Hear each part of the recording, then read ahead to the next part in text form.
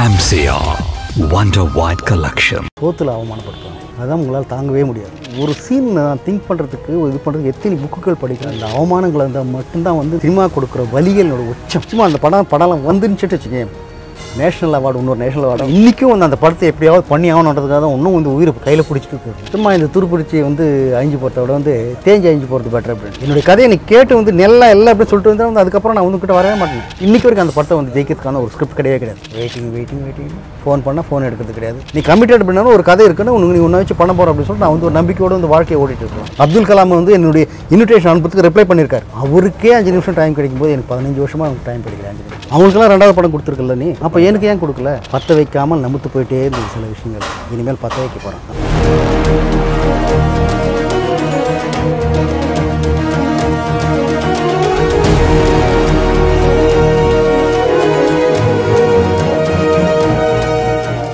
நீங்கள் முதல் முதல்ல சினிமாக்குள்ளே வந்த கதைகள் ஆரம்பித்து சங்கர் சார் கூட அசிஸ்டன்ட் டைரக்டராக ஜாயின் பண்ண கதைகள். இப்போது இந்தியன் டூ வரைக்கும் டிஸ்கஷனில் இருக்கீங்க. அந்த கதைகள்லாம் நீங்கள் அப்படியே ஆரம்ப காலகட்டத்திலேருந்து சொல்ல போகிறீங்க சூரியன் படம் வந்து முடிகிற சுச்சுவேஷனில் வந்து அங்கே போய் ஜாயின் பண்ணேன். பவித்ரனோட வந்து. அப்போ வந்து ஐ லவ் இந்தியா படம் அதாவது விஷாலினுடைய அப்பா வந்து அந்த படத்தினுடைய ப்ரொடியூசர் அந்த படத்தினுடைய டிஸ்கஷனில் வந்து நாங்கள் வந்து ரெண்டு பேரும் நாங்கள் போய் அங்கே ஜாயின் பண்ணுறேன் அப்போ வந்து அங்கே வந்து Shankar and Venkatesh Balaji that is Balaji Sakthivel. Sir இவங்க எல்லாம் அங்கே ஒர்க் பண்ணிருக்காங்க. நான் வந்து அங்கே போய் ஜாயின் பண்ணேன். ஜாயின் பண்ணி போய் புது கதையை வந்து ஒரு பண்ண சொல்லிட்டு வந்து அவங்க வந்து கிளைமேக்ஸ் ஷூட் பண்ணுறதுக்காக போயிட்டாங்க. அதுக்கப்புறம் வந்த பிறகு வந்து ஒரு டிஸ்கஷன் நடந்தது. அந்த டிஸ்கஷனில் வந்து என்னோடய கான்ட்ரிபியூஷன் என்ன இதெல்லாம் பார்த்துட்டு வந்து என்னை ரேக் பண்ணவங்க எல்லாருமே வந்து கொஞ்சம் கொஞ்சமே என் கூட க்ளோஸ் ஆகிட்டு சினிமா ராகிங் எப்படி இருக்கும்னு தெரிஞ்சுக்கணும் சார் என்ன கேட்போம் இப்போ காலேஜ் ராகிங்னா எங்களுக்கு தெரியும். நீச்சல் த வெறுந்தரில் நீச்சல் அடிக்கணும்னு சொல்லுவாங்க. அப்புறம் நிறைய கலாய்க்கள்லாம் பண்ணுவாங்கல்ல. ஸோ சினிமாவில் உங்களுக்கு எந்த மாதிரி ராகிங் இருந்தது அவமானப்படுத்துவாங்க. சோத்தில் அவமானப்படுத்துவாங்க. அதான் உங்களால் தாங்கவே முடியாது. அந்த அந்த அந்த அவமானங்கள் அந்த மட்டும்தான் வந்து இந்த சினிமா கொடுக்குற வலிகளோட உச்சம். நான் ஜ- நீங்க- நான் ஜாலியாக ஏதாவது நீங்கள் சொல்லுவீங்கன்னு நினச்சேன். பட் இவ்வளோ சீரியஸாக நான் இருக்கும்னு நினைக்காது. ப்ளீஸ் சாரி சார் சொல்லுங்கள் அது வேண்டாம். ஆயில வேண்டிய டிஸ்கஷன் நடந்தது. அதெல்லாம் முடியும் போது வந்து சங்கர் சாருக்கு வந்து வந்து ஒரு படம் கிடைச்சது படம் கிடைக்கும்போது வந்து எனக்கு வந்து அந்த வேவ் லென்த் மேட்சிங்கிற ஒரு ஒன்று இருக்குது அதாவது வந்து நம்ம என்ன யோசிக்கிறோமோ அந்த யோசிக்கிறதுக்கு வந்து பேரலாக யாராவது வராங்களா அப்படின்றத அவங்கள தான் நான் தேடிட்டு இருந்தேன். பட் அது வந்து எனக்கு வந்து சங்கர் கரெக்டாக வந்த மாதிரி இருந்தது. அவர் படம் கிடைச்ச உடனே வந்து அதுக்கு வந்து மெயின் ரீசன் வந்து வெங்கடேஷ். ஏ வெங்கடேஷ் தான் வந்து என்னை வந்து காந்தி நிறைய நல்ல சீன் சொல்லுவான். நான் கூப்பிட்டு வச்சு ஏன்னா அவர் ரெண்டு பேரும் வந்து வெளில வந்துட்டாங்க. பவித்ரன் கிட்டேருந்து. உடனே வந்து ராத்திரி வந்து ஒரு பதினொன்றரை மணிக்கு வந்து ரெண்டு பேரும் வந்து கூப்பிட்டாங்க. ஓகே நாளைக்கு வந்து ஜாயின் பண்ணிக்கணும் ஓகே சைக்கிள் வெறும் சைக்கிள் எடுத்தாங்க அங்கே போய் இறங்கின பிறகு வந்து அதுக்கப்புறம் அந்த கதைக்குள்ளே வந்து பூந்தான் ஃபுல் அண்ட் ஃபுல் என்னோட involvement hundred percent top to bottom soul மொத்தத்தையும் அதாவது வந்து அன்றைக்கிலேருந்து எழுதுத்த நிறுத்திட்டேன். சிறுகதை எழுதுறது நிறுத்தினேன். எனக்கு இனிமேல் சினிமா சினிமா அப்படின்னும் போது இந்த படம். இந்த படம் என்ன ஜென்டில்மேன் ஜெயிச்சா தான் நம்ம வாழ்க்கை. அப்படின்னு டிசைட் பண்ணேன். அதில் ஃபுல்லாக இன்வால்மெண்ட்டோடு ஒர்க் பண்ணோம். அந்த படம் பத்து மாதத்துக்குள்ளே வந்து முடிஞ்சு போச்சு. ஜெயிச்சிச்சு. ஜெயிச்சு வெளியில் வரும்போது பார்த்தா சைக்கிள் வந்து கைனட்டிக் கொண்ட ஸ்கூட்டராக மாறிச்சு.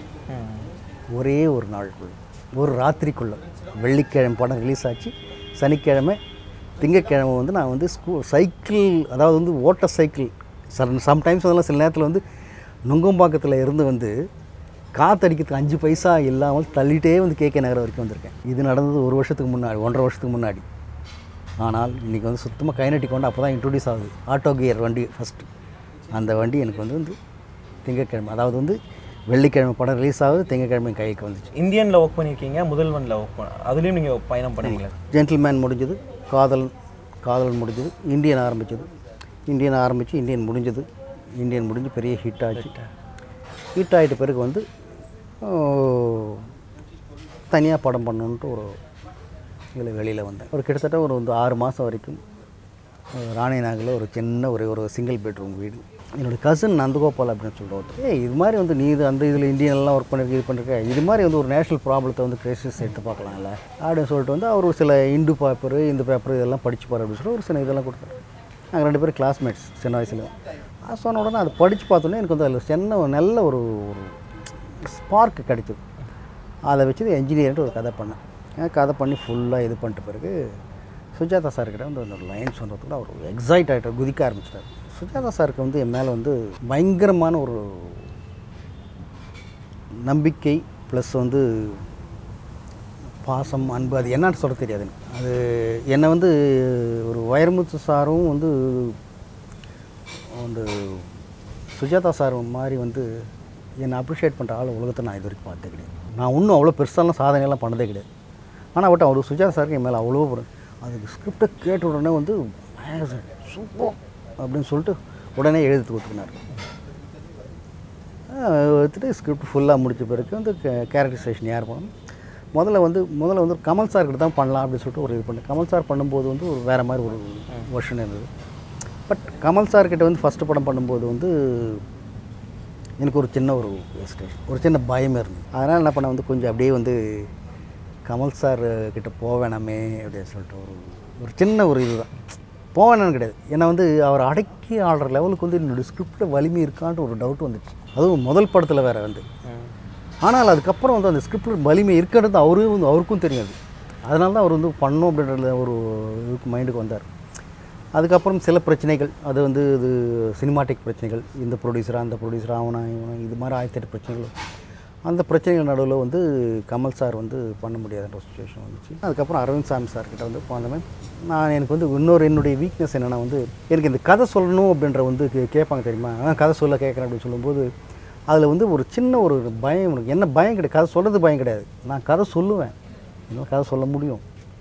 ஆனால் என் கதை சொல்லும்போது வந்து ஒரு சீன் நான் திங்க் பண்ணுறதுக்கு இது பண்ணுறதுக்கு எத்தனை புக்குகள் படிக்கிறோம் எத்தனை விஷயங்கள் நான் வந்து இது பண்ணுறோம் அப்படின்றது எங்களுக்கு தான் தெரியும். அங்கே போன வந்து அப்புறம் அப்படின்ட்டான் வச்சுக்கேன் என்னுடைய இருபது முப்பது நாளினுடைய தூக்கம் இல்லாமல் நான் படித்த புக்குன்னு புக்குங்க எல்லாத்தையுமே அவமானப்படுத்துற மாதிரி ஒரு இதாகிடும் அதனால் என்ன பண்ண வந்து கதையெல்லாம் என்கிட்ட கேட்காதீங்க சார் கொடுக்குறேன் ஸ்கிரிப்ட் ஃபுல் ஸ்கிரிப்ட் கொடுக்குறேன்.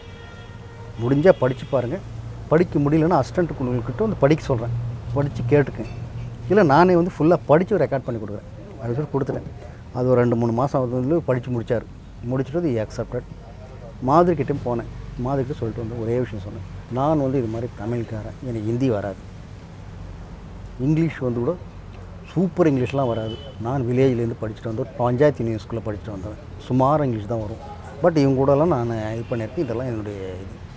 இப்போ சுஜாதா சாருக்கு சுஜாதா சார் வந்து கதையெல்லாம் சொல்ல தெரியாது. அவருக்கு நல்லா எழுத தெரியும். திஸ் இஸ் மை கொஷின் அப்படின்னு சொல்லிட்டு நான் வந்து this is the my story the so and so is happening this this is the happening so you are from this village this happen for this thing this is அப்படின்னு சொல்லிட்டு ஒரே ஒரு பதினஞ்சு நிமிஷம் கதை தான் சொன்னேன்.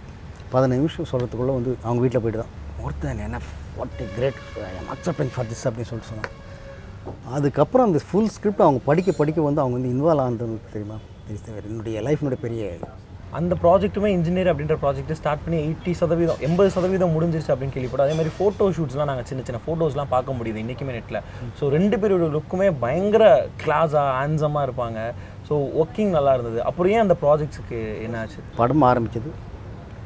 அப்போ வந்து ஒரு வேற ஒரு படம் வந்து அவர் வந்து அந்த படத்தோட பேர் சொல்ல வேணாம்னு தோன்றேன். ஸோ அந்த படத்தை வந்து வாங்கி அதில் வந்து தெலுங்கில் வந்து ரொம்ப லாஸ் ஆகிட்டதுனால இந்த படத்துக்கு பண்ண பிஸ்னஸ் காசெல்லாம் அவர் கடன் கட்ட வேண்டிய சுச்சுவேஷன் ஆகிடுச்சு கடன் கட்டி முடிச்சிட்ட பிறகு வந்து இங்கே படத்துக்கு வந்து பண்ணுறதுக்கு ஃபினிஷ் பண்ணுறதுக்கு காசெல்லாம் போயிடுச்சு. அதுக்கு வந்து வைரமுத்து சார் வந்து ஒரு பாட்டு எழுதியிருப்பார். அதாவது வந்து செக்க செவந்த மண்ணு அப்படின்னு சொல்லிட்டு நான் தின்னு தின்னு வளர்ந்த மண்ணு அப்படின்ட்டு. டைட்டிலே அந்த அந்த ஃபஸ்ட் இதுவே வந்து அப்படி அசத்துறோம் கடைசியில் அதுக்கு அந்த பல்லவி ரிப்பீட் கூட இருக்க மாட்டாரு. உள்ளூர மண்ணுக்குள்ள சல்லி சல்லி வேறு வளர்த்த கொடி இன்னைக்கு அசலூர் கொம்பு தேடி ஆசைப்பட்ட மாயம் என்ன? செத்து போயிடும். அந்த படம் நிச்சயமாக அந்த படம் படம்லாம் வந்துருச்சுட்டு வச்சுக்கேன் நேஷ்னல் அவார்டு இன்னொரு நேஷ்னல் அவார்டாக இருக்கும். சத்தியமாக வந்திருக்கும். வைரமுத்துக்கு. இன்றைக்கும் வந்து அந்த படத்தை எப்படியாவது பண்ணி ஆகணுன்றதுக்காக தான் இன்னும் வந்து உயிரை கையில் பிடிச்சிட்டு இருக்காங்க அந்த படத்தை மறுபடியும் பண்ண கூட வந்து இன்றைக்கி வரைக்கும் அந்த படத்தை வந்து ஜெயிக்கிறதுக்கான ஒரு ஸ்கிரிப்ட் கிடையவே கிடையாது. திருப்பி நார்மலாகி நீங்கள் திருப்பி இண்டஸ்ட்ரியில் பயணம் பண்ணுறீங்க நார்மலாகிறதுக்கு ரீசன் வந்து எனக்கு வந்து சுஜாதா சார். ஒரு நாள் வந்து அவர் பேசிட்டு இருந்தார். ஏதோ ஒரு ஒரு ஃபங்க்ஷனில் மீட் பண்ண வேண்டிய சுச்சுவேஷன் அதான் எங்கள் டைரக்டருடைய வீட்டு ஃபங்க்ஷன் இதில். என்ன பண்ணிருக்காங்க? இல்லை ஒன்றும் இல்லை சார் சும்மா தான் இருக்கேன். சும்மா இந்த துருப்பிடிச்சி வந்து அழிஞ்சு போகிறத விட வந்து தேஞ்சு அழிஞ்சு போகிறது பெட்டர் அப்படின்ட்டு. அதனால் நீ என்ன பண்ணுற நீ துருப்பிடிக்கிறத வந்து தேஞ்சு போயிடு. நாளைக்கு என்ன வந்து கோடம்பாக்கம் ஆஃபீஸ் தெரியுமா? அங்கே பென்டாஃபோர் ஆஃபீஸ் அங்கே வந்து என்ன பாரு. நம்ம எதாவது பண்ணலாம். சரி என்னுடைய கதை ஏதாவது இதை பண்ண அப்படின்னா. சரி சார் கொஞ்சம் யோசிச்சு சொல்லணும்னு சொல்லிட்டு வந்துட்டு வந்து ஒரு கதை ஒன்று இது பண்ணேன். அதுதான் வந்து அன்று உன்னருகில் அப்படின்னு சொல்லிட்டு ராணிமுத்தில் வந்திருக்கு. அது எங்கேயோ நாகர்கோவில் எங்கேயோ தான் பிரிண்ட் பண்ணியிருக்காங்க அது எனக்கு எங்கே இருக்க புக்கு தெரியாதுன்னு கேட்டார். அந்த புக்கை தேடி தேடி தேடி தேடி தேடி பிடிச்சி தான் அந்த அன்று உன்னருகிலும் கிடைச்சிது. அதுதான் நிலாக்காலம்னு சொல்லிட்டு அந்த படம் பண்ணேன். அந்த நிலாக்காலம் ஸ்கிரிப்ட் ஃபுல்லாக எழுதி கொடுத்து அது அப்ரூவ் ஆகி அந்த படத்தில் வந்து அந்த பையனுக்கு வந்து நேஷ்னல் அவார்டு கிடச்சிது. அதாவது ஹிந்துவில் வந்து கிட்டத்தட்ட ஆஃப் பேஜ் என்னை பற்றி வந்து எழுத வேண்டிய ஒரு கல்கி பெரிய பெரிய பத்திரிகை எல்லாருமே வந்து ஒரு அப்ரிஷியேட் பண்ணுற ஒரு நல்ல படம். அதாவது வந்து சின்ன பசங்களை வச்சு இவ்வளோ நல்ல ஒரு படத்தை கொடுக்க முடியுமா அப்படின்ற ஒரு நல்ல நேம் கிடைச்சு இன்னொன்று வந்து என் மேலே இருந்த பழிகள் எல்லாமே நீக்கப்பட்டது. அதாவது வந்து முதல் படத்தில் வந்து மாதுரி தீட்சித் இவங்களெல்லாம் வச்சுட்டு வந்து பெரிய பட்ஜெட்டில் படம் பண்ணார் டைரக்டர் ஊற்றிக்கிட்டார் அப்படின்றத வந்து நான் ஊற்றலை நான் பண்ணல நான் நேர்மையாக தான் இருக்கேன் அப்படின்றத வந்து என்னை உணர்த்தியது நிலாக்காலம். நிலா காலம் முடிச்சதுக்கப்புறம் நீங்கள் செல்லம்மை அப்படின்ற ப்ராஜெக்ட் ஆறீங்க அதுக்கப்புறம் திடீர்னுட்டு வந்து இவங்க தான் ஹீரோ அப்படின்னு சொல்லிட்டு வந்து விஷாலை கூப்பிட்டு வந்து இன்ட்ரடியூஸ் பண்ணாங்க. ஏன்னா ஹீரோயிசத்தை வச்சு நான் வந்து நான் வந்து எடுத்த உடனே ஹீரோயிசம் வச்செல்லாம் வந்து பண்ணுற லெவலுக்கு எனக்கு வந்து நம்பிக்கை வரல. அதனால் வந்து நான் என்ன பண்ணேன் இதுக்கு தேவை சபார்டினேட் கேரக்டர்ஸ் வேணும். என்ன சபார்டினேட் கேரக்டர்ஸ் ஓகே ஈக்குவலான ஒரு வில்லன் ஈக்குவலான ஒரு ஹீரோயின் ஈக்குவலான இது சம் கொஞ்சம் கிளாமர் கொஞ்சம் சென்டிமெண்ட் கொஞ்சம் புதுசான விஷயங்கள் யாருமே தொடாத விஷயங்கள் இது எல்லாமே வேணும் அப்படின்னு சொல்லிட்டு வந்து tried my level best so விஷாலுக்கு ஒரு பெரிய ஒரு ஓப்பனிங் கிடைச்சது. இந்த படம் செல்லமைக்கு அப்புறம் ஒரு பெரிய ஓப்பனிங் கிடச்சி செல்லமை படமும் ஒரு மிகப்பெரிய வர்த்தக ரீதியான ஒரு வெற்றி படமாகவும் இருந்தது. ஃபேமிலி ஆடியன்ஸும் அந்த படத்தை செலிப்ரேட் பண்ணாங்க. ஸோ அதுக்கப்புறம் அப்படியே அவருடைய கெரியர் வேறு மாதிரி ட்ராவல் பண்ணும்போது நீங்கள் அதுக்கப்புறம் ஆண்டவ ஆன- ஆனந்த தாண்டவம் அப்படின்ற படம் பண்ண ஆரம்பிக்கிறீங்க. ஸோ இப்படி இப்படி கெரியர் அப்படி இப்படி நகர்த்தி போக ஆரம்பிக்குது உங்களுடைய இல்லை அப்படின்னு கிடையாது. பட் ஆனந்த தாண்டவம்ன்றது எனக்கு அந்த பிரியோம் சந்திப்போம் வந்து எனக்கு நான் சினிமாவுக்கு வரதுக்கு வந்து ஒரு ரீசனும் அந்த சி பிரியோம் சந்திப்போம் நாவல். சுஜாதா சாருடைய நாவல். சுஜாதா சாவனு நாவல். ஏன்னா அந்த நாவல் படிச்சிட்டாலும் நான் வந்து அழுதுருக்கேன் அந்த அந்த வயசில். பட் நான் பண்ணது லேட் லேட்டு கிடையாது. அதில் ஏதோ சம்திங் ஏதோ மிஸ்டேக் இருக்காது. பட் என்னால் வந்து ஐடென்டிஃபை பண்ண முடியவே முடியல. அந்த அதுக்கு வந்து ஒரு இது கிடைச்சது பிளாட்ஃபார்ம் கிடைச்சது. நல்லா ம், அதான் பண்ணோம். எல்லாமே என்னோடய டெக்னீஷியன்ஸ் எல்லாமே அதில் தான் வந்து ஜீவா சங்கரை வந்து கேமராமேனை இன்ட்ரடியூஸ் பண்ணேன். புது ஹீரோ இன்ட்ரடியூஸ் பண்ணேன். தமன்னா வந்து அப் தான் அப்கமிங் எல்லாமே எல்லாமே நல்லா ஒர்க் பண்ணோம். எனக்கு ரொம்ப வந்து ஒரு சாட்டிஸ்ஃபேக்ஷனான ஒரு ஜாப் பண்ண ஒரு படம். இன்னும் இந்தியன் டு ட்ராப்ன்ற ஒரு வதந்தி இருக்கு. இந்தியன் டு ஸ்டாப் பண்ண போறாங்க இன்னும் செட் அப்படியே போட்டிருக்காங்க. இன்னும் பிரிக்காம இருக்கு. கமல் சார் கட்சி வேலைகள்லாம் முடிச்சு திருப்பி நடிப்பார் அப்படின்ற மாதிரி வதந்திகள் இன்னும் சினிமாவில் இருந்துட்டு தான். வதந்திகள் தானே? உண்மை கிடையாதுல்ல அப்போ அதுக்கு ஒரு முற்றுப்புள்ளினா இந்தியன் டூ என்ன ப்ராசஸில் இருக்கு சார் ஸ்டேட்டஸ் இல்லை இந்தியன் வந்து ஒரு நல்ல ஸ்கிரிப்ட் சூப்பர்பான ஒரு ஸ்கிரிப்ட் ஒரு இந்தியனை விட வந்து ரொம்ப நல்ல பெரிய ஸ்கிரிப்ட் அதாவது வந்து ஒரு எங்கள் டைரக்டரால் மட்டும்தான் அந்த படத்தை பண்ண முடியும். வேறு யாராலும் பண்ண முடியும். அது வந்து கன்ஃபார்மாக வந்து வந்தால் வந்து ஷோ ஷாட் அதாவது வந்து நம்ம எடுக்கும்போதே சில படங்கள் தெரியும் எழுதும்போதே தெரிஞ்சு எனக்கெல்லாம் செல்லமேலாம் எழுதும்போது எனக்கு டவுட்டெல்லாம் கிடையாது. எனக்கு என்னுடைய படங்களில் வந்து செல்லமே வந்து வந்து ரிலீஸ் ஆகும்போது வந்து விஷாலுடைய அப்பாலாம் எனக்கு ஃபோன் பண்ணி கேட்டிருக்காரு வந்து. இதெல்லாம் வந்து ஜாயின் பண்ணலாம் இல்லை நீங்கள் வந்து நான் அப்போ தான் வந்து ரா- நாலு நாள் நைட் டே நைட் வந்து மிக்சிங் முடிச்சுட்டு போய் படுத்துட்டுருக்கேன் சார் எதுக்கு சார் பார்க்கணும்? தேட்டரில் போய் பார்க்கணும். நான் தேட்டரில் போய் பார்க்க தேவையில்லை. என் படம் ஹிட்டாக தோங்குதான்னு நான் எனக்கே தெரிஞ்சு போச்சு. எழுதும்போதே தெரிஞ்சோம் எழுதும்போதே தெரிஞ்சு போச்சு. அப்புறமா வந்து எடுத்து வந்து தேட்டரில் வந்து மிக்சிங் பண்ணும்போது தெரிஞ்சு போச்சு. அது ஊற்றிக்கு போகுதுன்னு தெரிஞ்சு நான் அது ஊற்றிக்கு போச்சுன்னு நான் இதுக்கு நான் அது ஜெயிச்சு போ ஜெயிக்க போகிற படம் போது நான் இதுக்கும் போய் பார்க்கணும். நான் போய் பார்க்க மாட்டேன். ஸோ அண்மையில் உங்களுடைய ஃபேஸ்புக்கில் நீங்கள் போட்ட போஸ்ட் வந்து கொஞ்சம் விமர்சனமாச்சு. விஷால் வந்துட்டு செல்லமை படம் மூலியமா அறிமுகமானார். அந்த படத்தினுடைய இயக்குனர் நான். என்னிடம் கதை கேட்க அவருக்கு நேரமில்லை. வாழ்க வளமுடன் அப்படின்னு போட்டிருந்தீங்க. அந்த பதிவுக்கான காரணம் என்ன? ஒரு ரெண்டு வருஷத்துக்கு முன்னாடி ஒரு முறை வந்து என்னுடைய ஒரு ரைட்டர் ஒன்று வந்து இந்த சினிமாவுக்கு அறிமுகப்படுத்த ஒரு ரைட்டர் ஒருத்தர் வந்து ஒரு ஃப்ரெண்டு ஒரு பெரிய ஆள் கல்யாணத்துக்கு அவர் வந்து அந்த என்னுடைய கதையை வந்து கேட்டு இந்த கதை ரொம்ப நல்லா இருக்கு சூப்பரான ஒரு கதையாக இருக்குது இந்த கதையை வந்து விஷால் வச்சு பண்ணால் கூட நல்லா இருக்குல்ல பண்ணலாம் சார். சார் நம்ம போய் பேசி பார்க்கலாமே அப்படின்னு சொல்லிட்டு அவங்க அப்பாவை கூப்பிட்டு வந்து போய் கூப்பிட்டு போயிட்டு அவங்க அப்பா கிட்ட பேசினார். யாரையா ஒரு ஜிகே ரெட்டிட்டு அவங்க அப்பா கிட்ட. பேசணுன்னே அவர் வந்து அவர்கிட்ட கதை சொன்னேன். அவருக்கு ரொம்ப பிடிச்சிருந்தது கதை. சொல்லிட்டு வந்து நான் பேசுகிறேன் அப்படின்னு சொன்னேன். அதுக்கப்புறம் வந்து வித்தின் ஏ மந்தில் வந்து நான் ரொம்ப பிஸி அப்படின்னு சொல்லி சொன்னதாக கேள்விப்பட்டேன். இதுக்கப்புறம் வந்து அப்படியே போயிட்டு இருந்து காலம் தள்ளி போயிட்டு போயிட்டு இருந்தது. ரெண்டு மூணு வருஷம் போயிடுச்சு வந்து. ஓகே மூணு வருஷம் போயிடுச்சு. அப்போ வந்து ஒரு திடுக்கண்டு வந்து ஒரு இதுக்காக மேரேஜுக்காக வந்து என்னுடைய அசிஸ்டண்ட்டோட மேரேஜுக்காக வந்து தஞ்சாவூர் போயிட்டு வந்து காரில் வந்துகிட்டே இருக்கும்போது ஒரு ஃப்ரெண்டு பேசிட்டு வந்தார் பேசினார். பேசும்போது இதெல்லாம் சினிமாலெல்லாம் வந்து இதெல்லாம் பார்க்கக்கூடாது. நீ வந்து இது பண்ண வந்து நேராக தான் போய் பார்த்து மீட் பண்ணி பேசினா என்ன போச்சு உனக்கு தப்பு? இதில் என்ன உங்களுக்கு இது இதில் பேசுறதுக்கு ஒன்றும் கிடையாது. அவங்க இன்ட்ரெஸ்ட் இருந்துச்சு நான் பண்ணுறேன் நான் இங்கே தான் இத்தனை ஸ்கிரிப்ட் வச்சிருக்கல. இத்தனை ஸ்கிரிப்ட் ஏதாவது ஒரு ஸ்கிரிப்ட் வந்து என்ன பண்ண மாட்டாரா? சார் இப்படி உடனே வந்து எங்கே இருக்கார்? அப்படின்னு சொல்லி விசாரிச்சா வந்து பாண்டிச்சேரியில் இருக்கு அப்படின்னு சொல்லி டிசம்பர் மாதம் போனோம் டிசம்பர் மாதம் பாண்டிச்சேரியில் ஷூட்டிங் இருக்கான்னு சொன்னாங்க. உடனே வந்து அதுக்கு ஃபோன் பண்ணி கேட்டேன். அங்கே தான் ஷூட்டிங் இருக்காங்க நேராக போனேன். லஞ்ச் டைம் லஞ்ச் டைம் முடிக்கும் கொஞ்சம் வெளியில் உட்காந்து வெயிட் பண்ணிட்டு இருந்தேன். ஒரு ஆஃப் அன் ஹவர் கழிச்சு வந்தார். லஞ்ச் முடிச்சுட்டு. வந்தோடனே நல்லா ரிசீவ் பண்ணார். பேசணும். பேசிட்டு இருக்கும்போது நான் ஜஸ்ட் ரொம்ப ஏன்னா ஷூட்டிங் இப்போ தான் வந்து லஞ்ச் பிரேக் முடிச்சு ஸ்டார்ட் பண்ணாங்க. நான் எதுவும் டிஸ்டர்ப் பண்ண வேணாம். நான் ஜஸ்ட் ஒரு ஃபைவ் மினிட்ஸ் பேசுகிறேன் அப்படின்னு சொல்லிட்டு இது மாதிரி ஒரு கதை வச்சுருக்கேன். திஸ் இஸ் த டைட்டில் இது மாதிரி ஒரு லைன் பட் ஃபுல் ஆக்ஷன் உன்னை வந்து முதல் படம் பண்ண மாதிரி பண்ண மாட்டேன். லவ் இதெல்லாம் பண்ண மாட்டேன். இது ஃபுல் அண்ட் ஃபுல் ஆக்ஷன் இது வந்து என்னால் வந்து ஒரு மாதிரி டிஃப்ரெண்ட்டாக பண்ண முடியும். But this the budget is the எல்லாமே ஆல்மோஸ்ட் ஒரு அஞ்சு நிமிஷத்துக்குள்ளே எல்லா விஷயத்தையும் சொல்லிட்டேன். இதுக்கு மேலே இன்ட்ரோடக்ஷன்லாம் எந்த ஒரு ப்ரொடியூசருக்கும் எந்த ஒரு இதுக்கும் தேவையே இல்லை.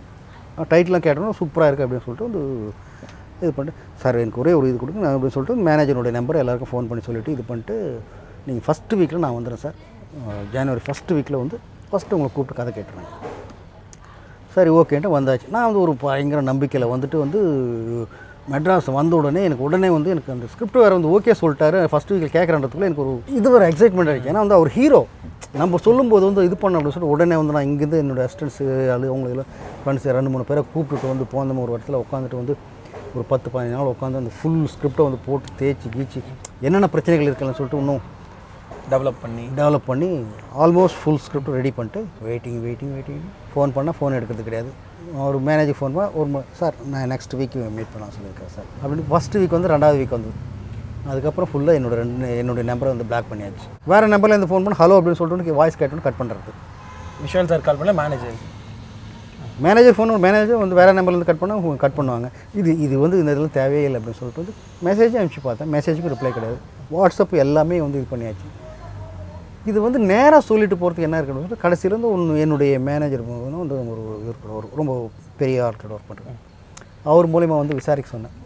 என்ன ஆச்சு? இது வந்து நான் சும்மா வந்து வந்து கதை கேட்குறேன் சொன்னேன். கதை சொல்லிட்டு வந்து ஓகே இந்த படம் ஓகே கதை நல்லா இருக்கு பண்ணுறேன் அப்படின்னு சொல்லிட்டேன் இந்த வருஷம் கிடையாது அடுத்த வருஷம் பண்ணுறதா கூட எனக்கு ப்ரொடியூசர் ரெடியாக இருக்கார். நீ அஞ்சாவது படம் முடிச்சுட்டு கூட எனக்கு ஆறாவது படம் கூட பண்ணு. நீ கமிட்டட் பண்ணாலும் ஒரு கதை இருக்குன்னு உனக்கு நீ ஒன்றை வச்சு பண்ண போகிறோம் அப்படின்னு சொல்லிட்டு நான் வந்து ஒரு நம்பிக்கையோடு வந்து வாழ்க்கையை ஓடிட்டு இருக்கேன். அந்த ஸ்கிரிப்ட் ஃபுல்லாக முடிச்சு வச்சுட்டு நான் வந்து வேறு வேலை கூட பார்த்துட்டு போயிட்டு இருக்கலாம். இதுவும் இல்லாமல் அதுவும் இல்லாமல் வந்து வந்து கிட்டத்தட்ட திருசவங்கம் இருக்க மாதிரி நடுவில் தொங்க விட்டா வந்து என்ன பண்ண முடியும்? அதுதான் தெரிஞ்சுக்கிறேன் அப்படின்னு சொல்லி கேட்டேன். கடைசியில் அவர் மூலியமாக தான் வந்து தெரிஞ்சு இல்லை சார் அவர் அஞ்சு படம் கமிட் பண்ணி வச்சுருக்காரு. அதில் முடிச்சுட்டு தான் பண்ண முடியுமா? அதனால் வந்து அது முன்னாடி சொல்லியிருக்கலாம்ப்பா இது தெரிஞ்ச பிறகு தான் எனக்கு வந்து ஒரு மாதிரி அப்செட் ஆகிடும் அதாவது ஒரு கதை சொல்கிறது கூட மீட்டிங் கூட கொடுக்க முடியும் நீங்கள் வந்து கதை கேட்டுட்டு சார் கதை நல்லா இல்லை. வேறு மாதிரி கதை பண்ணிட்டாங்க. சார் நான் பண்ணலாம் இது மாதிரி அஞ்சு படம் இருக்குது ஏதோ ஒன்று ஒரு அஞ்சு நிமிஷம் மீட் பண்ணுறதுக்கு வந்து பதினஞ்சு வருஷம் உன்னால் முடியலையா? அப்துல் கலாம் வந்து என்னுடைய இன்விடேஷன் அனுப்புறதுக்கு ரிப்ளை பண்ணியிருக்காரு எதுக்கு? என்ஜினியர் படத்துக்கு. அப்துல் கலாமுக்கு வந்து நான் இது அனுப்பிச்சிருக்கேன். வந்து இன்விடேஷன் அனுப்பி இன்விடேஷன் போகிறதுக்கு முன்னாடி என்னுடைய சப்ஜெக்டையும் இதுக்கு வந்து நீங்கள் வந்து வந்து எனக்கு இந்த படத்தை வந்து ஓப்பன் பண்ணி ஆகணும்னு சொல்லிட்டு அவருக்கு மெயில் அனுப்பிச்சு அதுக்கு அவர் ரிப்ளை பண்ணியிருக்கார் அவருக்கே அஞ்சு நிமிஷம் டைம் கிடைக்கும்போது எனக்கு பதினஞ்சு வருஷமாக அவங்க டைம் கிடைக்கிறேன் அஞ்சு நிமிஷம் பேச இதுதான் எனக்கு வருத்தம். அஞ்சு நிமிஷம். என்னுடைய கதையை நீ கேட்டு வந்து நெல்லா எல்லாம் எப்படி சொல்லிட்டு வந்து அதுக்கப்புறம் நான் உங்ககிட்ட வரவே மாட்டேன். ஏன் பார்க்க முடியாத தர்ம சங்கடம் வேற என்னவா இருக்கும் யோசி தெரியலையே எனக்கு தெரியாது எனக்கு தெரியாது. நான் எந்த தப்பும் பண்ணேன் நான் ஆனஸ்ட்டாக தான் படம் பண்ணேன். செல்லமைக்கு அப்புறம் சண்டைக்குழி ரிலீஸ் ஆகுது பெரிய வெற்றி பெறுது. சண்டைக்குழி டூ எடுக்கிறதுக்கு லிங்குசாமியும் ஒரு திருப்பியும் கம்பைன் ஆறாரு. திரு அப்படின்னு இயக்குனர் கூட மறுபடியும் சேர்ந்து கம்பைன் ஆகி நிறைய படங்கள் பண்ணியிருக்காரு. சுசீந்திரன் கூட மறுபடியும் சேர்ந்து ரெண்டு மூணு படங்கள் ஒர்க் பண்ணியிருக்காரு. ஸோ நீங்கள் நீங்களும் உங்களுக்கும் ஒரு வாய்ப்பு கொடுத்துருக்கலாம் அப்படின்றது உங்களுக்கு இருக்கா? மறுபடியும் எனக்கு ஒரு வாய்ப்பு கொடுத்தா நானும் ஒரு படம் பண்ணியிருக்கலாம் விஷாலை வைத்து அப்படின்னு. எனக்கு இல்லை ஏன் அவருக்கு இல்லைன்னு சொல்லிட்டு அவர்கிட்ட போய் கேட்க வேண்டியது நீங்கள் இவங்களுக்கெல்லாம் வந்து எல்லாமே அவங்களே வந்து என்னோட பெரிய ஹிட்டெல்லாம் கொடுக்கல அந்த டைரக்டர்ஸ் எல்லாம் வந்து பண்ணியிருக்காங்க இல்லையா? அவங்களுக்கெல்லாம் ரெண்டாவது படம் கொடுத்துருக்கல நீ? எனக்கு ஏன் கொடுக்கல படங்கள் கொடுத்துருக்காரு அப்போ எனக்கு ஏன் கொடுக்கல?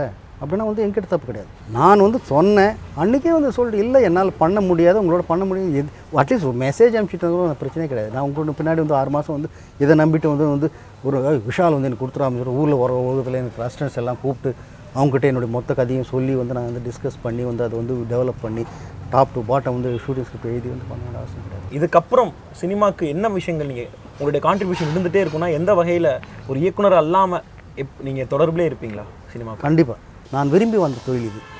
அதை நான் விட்டுட்டு போகவே மாட்டேன்.